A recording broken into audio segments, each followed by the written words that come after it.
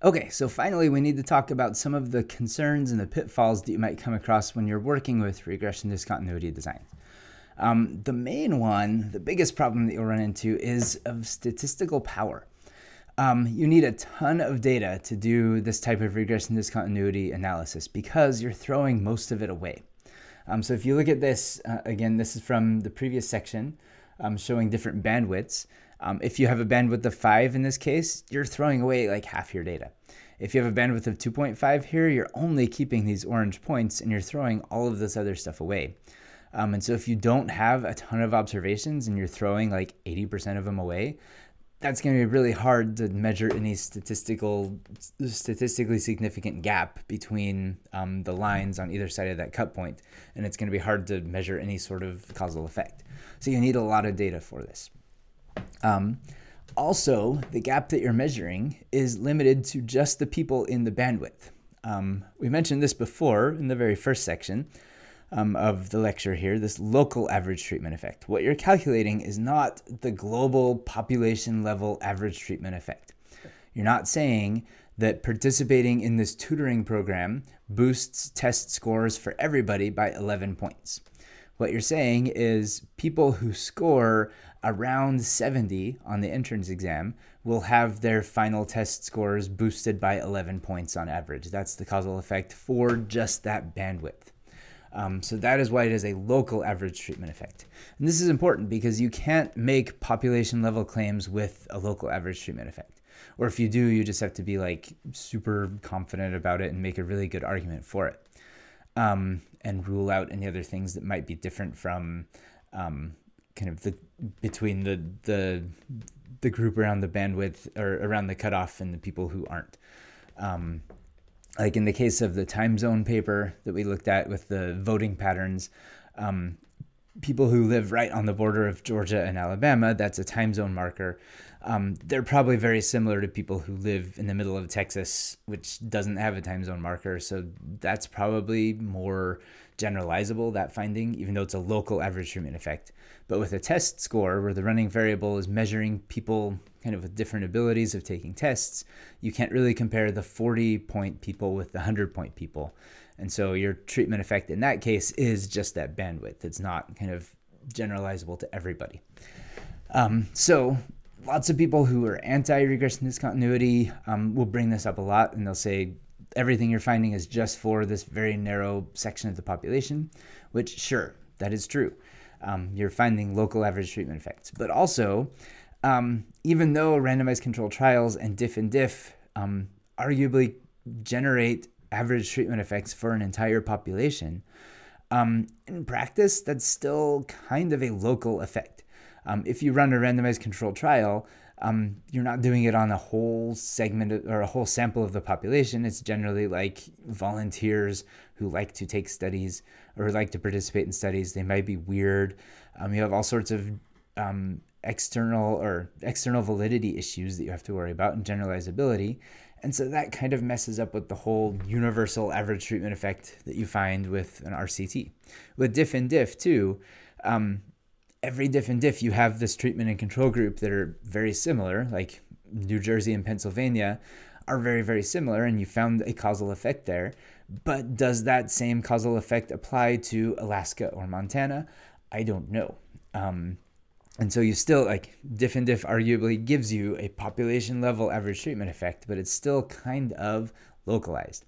Um, and so Angrist and Pischke, they wrote your um, Mastering Metrics book. Their first book, which is more technical but still really helpful and accessible, it's called Mostly Harmless Econometrics. Um, in that book, they make this argument here that all quantitative empirical results that we encounter, whether it be through RCTs or diff and diff or regression discontinuity or regression with DAGs that tell you what to adjust for with inverse probability weighting, everything we're doing is still essentially local. Um, the only way it's going to be a global population level effect is if we have perfect external validity, which is rarely the case. And so don't let the fact that regression discontinuity only shows you a local average treatment effect, um, don't, don't let that scare you away because everything is essentially a local average treatment effect in the end.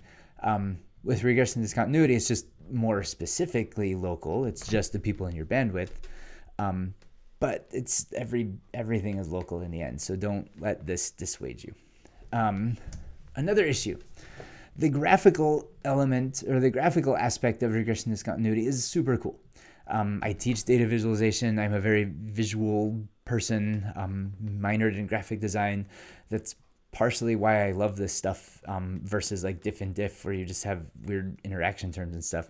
Regression discontinuity is very, very visual, and people get it um, very easily um, when you show them graphs. Because if you look at something like this, there's definitely a gap there, and that's super exciting. There's maybe a gap here.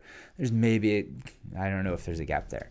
So if you look at this, for instance, you have these three different plots. Um, which of these are statistically significant?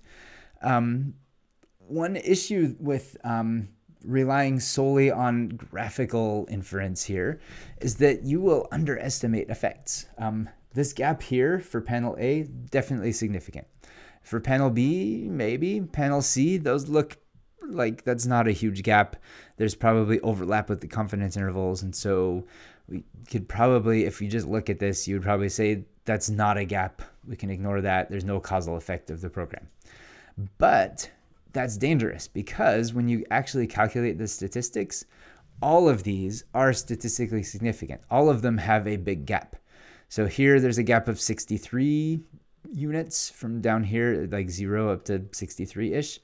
Um, the the p-value is tiny, and so that is statistically significant. Definitely not zero in a world where it might be zero. Um, if you look at this panel, there is some overlap. It looks like there might be, um, but the p-value is still pretty significant and small, which means seeing this in a world where there is no effect um, is pretty rare. So we can be fairly confident that that's not zero. Even here, this gap is only 8.8. That's a small gap, but look at the p-value. It's 0.04, which is less than 0.05. And so this is still fairly rare to see in a world where there is no difference, um, which means it's statistically significant. So if you only rely on graphical inference and you just look at these, you would say A is definitely good, B is maybe good, C, throw that away. Who cares about that program? It's not doing anything. Um, but C is doing stuff that is statistically significant. So don't just rely on graphics. Um, in practice, it's actually pretty rare to see very, very huge, clear breaks um, in your outcome variable across your running variable. That's not a very common thing to have happen. Um, and so use graphs. Graphs are great. That's the whole point of doing regression discontinuity. You make pretty pictures, but don't only rely on the graphs. Um, find the actual delta value, that actual difference there, um, and measure how statistically significant it is, and do all of the summary statistics for it, and do um, everything else you can to see how robust of a difference that is. It might not be graphically apparent, but there is really a gap there. So don't over rely on graphics. Um, a couple other things to worry about is this idea of manipulation, um, where if people know about the cutoff, which is very often the case, um, especially for like social services um, or test scores. Um, if you know about the cutoff, you're more likely to change your behavior so that you can get into the program or out of the program. Um, and so, if people are manipulating their way in and out of the program, um, then that ruins your your inference. Um, your the whole intuition is that the people on either side of the cutoff are very very similar. It's just kind of random chance that one of them got the program and one didn't. But if one group is purposely kind of trying to get, like with this tutoring thing, um, everybody knows that if you get 70 um, or lower, you get the tutoring. Um, if you know you're going to get like a 90 or 100, then you'll do that. But if you know that generally you're like a C student, um, you might purposely do bad so that you can get the tutor, and then later you'll do better because you have the tutor and you would have gotten like a 75 or an 80, but you purposely bombed the test to get a tutor, which then means which then means that you're not very comparable to the people who got like a 68 and would have gotten a 68 without like totally bombing it. Um, and so that ruins the inference here. This happens all the time when people know about thresholds, even if it's um, even if it doesn't like qualify you for specific things. Um, there's this really cool plot here of 9.5 million marathon finishing times. Basically, every marathoner um, for like the past few decades in the United States for like major marathons. Um, what's cool is this shows the histogram of finishing times. And if you notice, these thin lines here are finishing times at three hours, three and a half hours, four hours, four hours and 30 minutes. And if you look right around each of those kind of logical timings, like four hours or four hours and 30 minutes, there's a huge peak because um, these people here are trying as fast as they can to hit the three hour mark. And so there are a ton of people who finish at like two hours and 59 minutes. And there are very few people relative to that other, like the people who rushed, to finish at three hours and one minute. Um, because if you were going to finish at three hours and one minute, you'll just push yourself so that you can finish two minutes earlier and get under the three hour mark. Um, you see that all over the place with each of these um, white marks here. The biggest one is the four hour mark. People really love to finish under four hours. And so, because of that, if you were doing some sort of regression discontinuity thing, the people on this side of the four hour mark um, are kind of comparable to the people on this this side of the four hour mark, the 405 versus the 355. But lots of the 355 people probably would have been on the four hour, like on this side of the four hour mark, if there were no clocks. Um, and if they didn't have a watch, because then they wouldn't purposely push themselves to finish under the cutoff. Um, and so it doesn't really work for kind of that core intuition behind the inference of having comparable treatment and control groups because it's no longer random. This happens in other sports too. Um, so if you look at this, this is this shows um, every shot taken um, by NBA players in 2014 to 2015. Um, and if you notice around the three point line, there are tons of people taking shots from there. Um, but then nobody's taking any shots from like a couple inches inside the three point line. And that's because it's a, it's a harder shot, it's further away, but you only get two points for doing it. And so if you're going to shoot from far away, you might as well just like take a step back um, and get the extra point if you make it because the distance is basically the same. Um, and so people know about this threshold and they change their behavior around the threshold. Um, and so you if you if this was like a regression discontinuity thing, people shooting from this side, you can't really compare them to people shooting from this side um, because they're not. It's not random chance. They know about the cutoff and they're manipulating um, which side of the cutoff they're on. Um, you can check for manipulation um, using something called a McCrary density test, where you basically do a density plot um, for people on one side of the running variable and then compare that to a density plot on the other side of the running variable um, or a histogram, same idea. And if you see a weird gap here in the density, that means that people are probably manipulating it. There are more people on this side of the running variable than should be. Um, if you're in a world of no manipulation, there shouldn't be a gap here. It just means like it's kind of the smooth thing. Some people are on this side, some people are on that side, but there's not a huge difference. If you come to here, these people know about it and they're purposely getting under the running variable. And so then there's a sudden gap there. And if you have that gap there, that means you likely have some sort of manipulation where lots of these people would have been on this side, but they did something to get themselves to the other side. Um, and then that messes up your ability to make inferences, and whatever gap you measure is probably going to be wrong. Um, so it's a good idea to check for manipulation before you start measuring gaps. Um, you also finally have this idea called non compliance, um, where you might have people on the margin of the cutoff. Um, so somebody might score a 71 and get a tutor, or somebody might score a 69 and not get a tutor um, because either they don't want one or because of um, bureaucratic mess up. Um, they misreported the test score or something, or the tutor didn't show up, or there's something that messes up the actual application, um, the actual implementation of the program. Um, you see this uh, especially with like um, the Affordable Care Act and this whole subsidy idea that we talked about in the very first section of this lecture.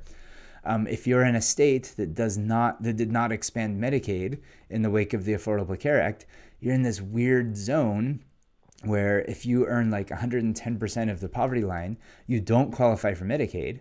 um, but you also don't qualify for um, the Affordable Care Act subsidies. And so you have to pay full price for insurance, which is awful. Um, and so what often happens is people will kind of fudge their um, income and say that hypothetically they will start driving for Uber and make a whole bunch of money and that will push them at 138% of the poverty line and so then they'll get subsidies or they'll underreport their income so they go down to 100% of the poverty line so that they can hit um, so they can qualify for Medicaid. And so you can do income manipulation um, to be in or out of the program. That doesn't actually, you're not throwing away money or anything. So it's not like regular manipulation. It's just basically compliance. You're saying, I'm going to use this program even though I don't qualify for it, or I'm not going to use this program even though I do qualify for it. So when you have a situation like that, then that messes up your discontinuity. And you have this difference between a sharp discontinuity and fuzzy discontinuity. So a sharp discontinuity looks like this. This is what we've been talking about throughout this whole session here, um, where the 70 cutoff here is a sharp discontinuity because nobody above 70 is using a tutor. Nobody below 70 is not using a tutor. Um, everybody's doing what they're supposed to do nobody's kind of crossing over into groups. And so you have sharp discontinuity. So if you're measuring a gap, you can do it just fine because you don't have people with people who scored high using tutors, people who scored low not using tutors. But you'll very rarely see sharp discontinuities in practice. Um, often you'll have something called a fuzzy discontinuity, where you have imperfect compliance. So in this situation, you have people who scored low who didn't use a tutor um, either because they opted not to or because they fell through the cracks or something. Um, you also have people who scored high who then went out and used a tutor anyway. Um, and so they did not comply with the treatment. Um, either they snuck in on tutoring sessions or they hired one of the tutors separately or something. Um, and so once you have this, measuring that gap is no longer super accurate because the whole intuition behind this gap is that these blue dots here, right on the yellow line, are basically the same as these dots. Um, the only difference is just kind of luck. Um, but if you have kind of these non-compliers here, suddenly your treatment and control group includes people who both got treatment and did not. And so that messes up your groups, and it's really hard to have just clear causal inference from this situation because of the fuzzy discontinuity. There are ways of fixing this. Um, and we'll talk about this in the session after we talk about instrumental variables. The way you address this non-compliance is with something called an instrumental variable, and we'll talk about this later. You basically use an instrument that determines which side of the cutoff people should have been on, and then calculate the size of the gap. Um, and it, it works. The only issue is the effect that you find is is a local average treatment effect still, but it's also something called a doubly local effect. It's the effect of the program for people in that bandwidth who also complied. And so it's kind of an even hyper even more hyper specific version of the causal effect where you're not finding the causal effect for um, the whole population. You're finding it for people in the bandwidth, but you're also finding it basically for people who complied. So these blue dots here and these maroon dots there, you're ignoring these people, the non-compliers. And so whatever you find is going to kind of be um, limited just to people who follow the rules. Um, so you can't say anything about the non-compliers, and you can't say anything about these people or these people. Um, so it's a more specific version of a treatment effect, but that's that's what you can do. So in a couple sessions, we will talk more specifically how to do about how to do fuzzy discontinuity um, analysis. There's packages for it. The RD robust function lets you do fuzzy stuff, so it's not from a technical standpoint, it's it's fairly easy. Um, but we have to talk about the intuition behind instrumental variables to be able to understand that, and that's what we're talking about next week. So head over to the example page and you can walk through an example of how to do regression discontinuity. Um, and we'll go back to this example here of our entrance exam and our exit exam and whether or not tutoring helps. And we'll measure this gap a ton of different ways. So go over there and let's get started.